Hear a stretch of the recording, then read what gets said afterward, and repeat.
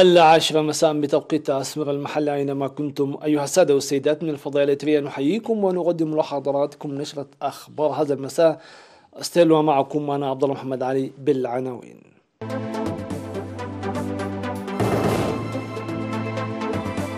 جهود مضاعفة لحماية الآثار في إقليم عنسبة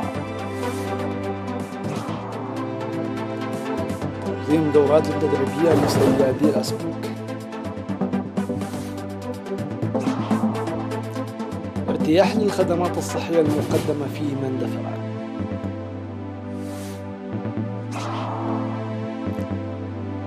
عنف المتشددين في قرب أفريقيا يشرد عددا قياسي إدارة بايدن تنوي مراجعة الاتفاق الذي أمضته واشنطن مع طالبان. الصين تفرض إغلاقا في مناطق عالية الخطورة. أهلا بكم إلى التفاصيل. أعلن قسم الثقافة والرياضة في إقليم عنسة باتخاذ خطوات جادة لحماية الآثار في الإقليم خلال السنوات الثلاث الماضية. وأوضح المدير العام للقسم السيد سراج الحاج.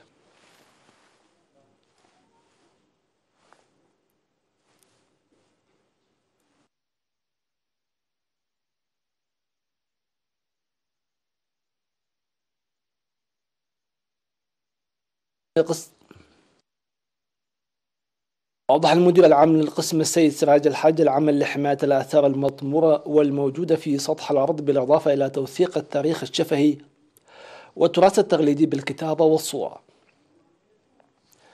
وأشار إلى تسجيل 718 مبنى أثري في مدينة كرن بموجب الخطة الموضوعة لحفظها والقيام بأنشطة استكشاف الآثار بالتعاون مع الجهات المختصة.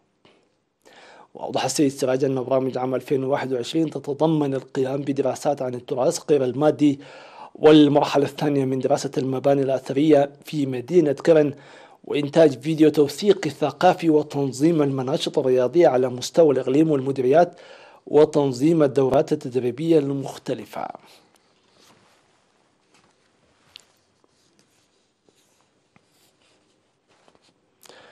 تقوم وزارة الثروة البحرية بتنظيم الدورات التدريبية لصيادي الأسماك التقليديين لرفع لرفع إنتاج الأسماك كما ونوعا. وأوضح مسؤول تنمية الأسماك والتنويع في مكتب وزارة الثروة البحرية في إقليم شمال البحر الأحمر السيد براخي هايلا أن الدورات التدريبية المتخصصة في حفظ الأسماك وصيانة شباك الصيد وطهي السمك وغيرها تحقق نتائج جيدة لتطوير قدرات الصيادين التقليديين. وقال أن الوزارة تعمل باهتمام كبير لتقرير الوسائل التقليدية ورفع الوعي وتقديم معدات الصيد الحديثة ليتمكن العديد من الصيادين من الانتقال من الصيد التقليدي إلى الصيد بالقوارب الكبيرة.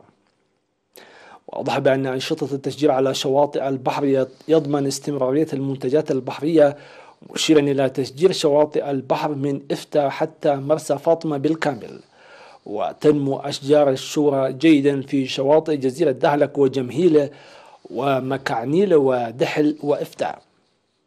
ويجري العمل لإعادة تشجير الأشجار المقتلعة في جزر دبروشيت ودبعالو والنورة وسلعيت ودهلك كبير.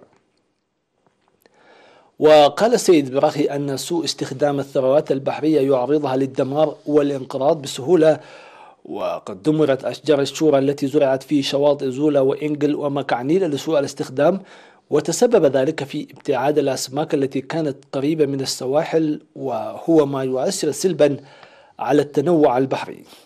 داعيا لتشجير كثيف لأشجار الشورى وضمان نظافة شواطئ البحر.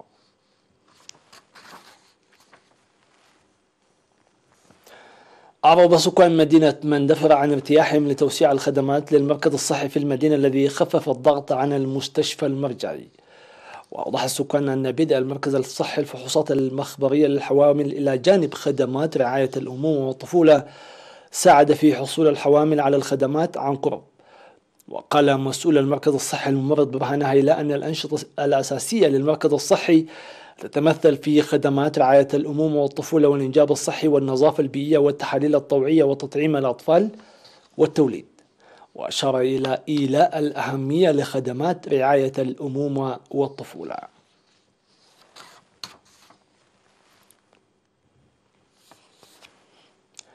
تجري أنشطة نفير لإزالة النفايات والمواد البلاستيكية الملوثة للبيئة بهدف إصحاح البيئة ودرء الأمراض المعدية خاصة الملاريا في مديرية أفعبد وأفاد مراسل وكالة الأنباء الإترية أن النفير الذي يشارك فيه يوميا ألف شخص ويتواصل لشهر كامل ينفذ فيه جميع ضواحي المديرية.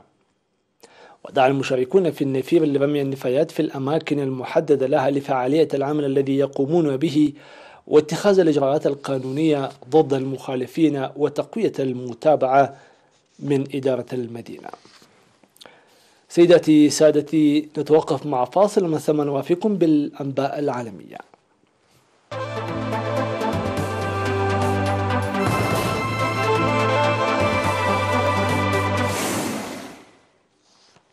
أهلا بكم من جديد.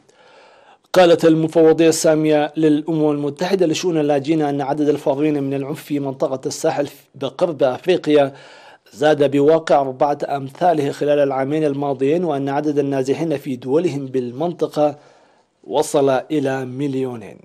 وكثف متشددون مرتبطون بتنظيمي القاعدة وداعش وجودهم في المنطقة شبه القاحلة على حافة الصحراء وألهبوا الصراعات العرقية في كل من بوركينا فاسو ومالي والنيجر وأرغموا تجمعات سكانية كاملة على النزوح من ديارها. وقال المتحدث باسم المفوضية السامية لشؤون اللاجئين بوريس تشيرتشيكوف في مؤتمر صحفي في جنيف.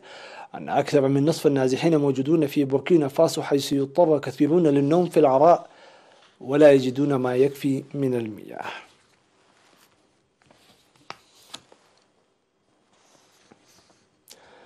أبلغت حكومة الرئيس الأمريكي الجديد جو بايدن السلطات الأفغانية برغبتها في مراجعة الاتفاق الموقع في العشرين من فبراير الماضي بين واشنطن وحركة طالبان خصوصا بهدف تقييم احترام الحركة لتعهداتها.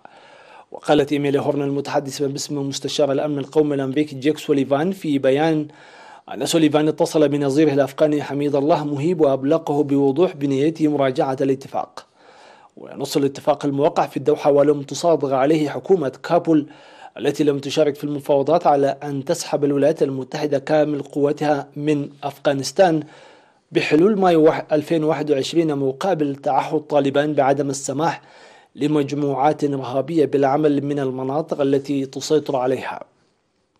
وأثارت تصريحات المتحدث ما باسم سوليفان ارتياح السلطات الأفغانية التي تنتظر بقلق الموقف الذي ستتخذه إدارة بايدن من الاتفاق.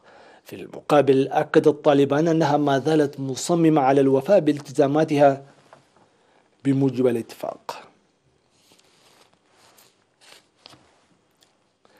شرعت الصين في اتخاذ إجراءات صارمة لاحتواء تفشي وباء كوفيد 19 في جميع أنحاء البلاد بما في ذلك فرض عمليات إغلاق في المناطق عالية الخطورة وإجراء الاختبارات الجماعية. وبدأت الاختبارات الجماعية في مدينة بين الشمالية الشرقية في محافظة هيلوجيانغ حيث كانت هناك مجموعة جديدة من حالات الإصابة بكوفيد 19 حسب ما ذكر تلفزيون الصين المركزي.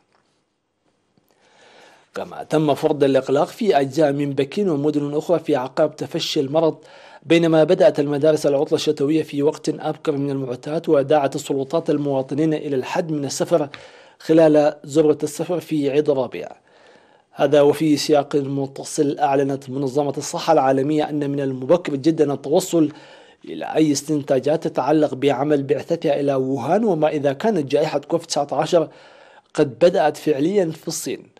وكان فريق من خبراء المنظمة وصل إلى ووهان في الرابع عشر من يناير للتحقيق في منشأ فيروس كورونا بعد أكثر من عام على ظهور أولى الإصابات في المدينة بوسط الصين.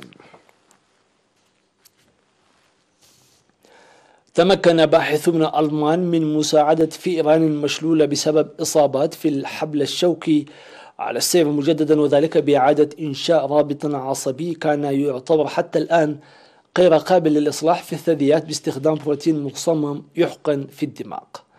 وتترك إصابات الحبل الشوكي الناجمة عن القالب فيه عن حوادث رياضية أو مرورية أصحابها في حالة شلل لأنه ليس كل الألياف العصبية التي تحمل المعلومات بين العضلات والمخ قادرة على النمو مجددا. لكن الباحثين بجامعة في بوخوم بألمانيا تمكنوا من تحفيز الخلايا العصبية للفئران المشلولة لدفعها إلى التجدد ذلك باستخدام أحد البروتينات. وقال رئيس فريق البحث أن الفئران المشلولة التي تلقت العلاج بدأت في المشي بعد أسبوعين إلى ثلاثة أسابيع.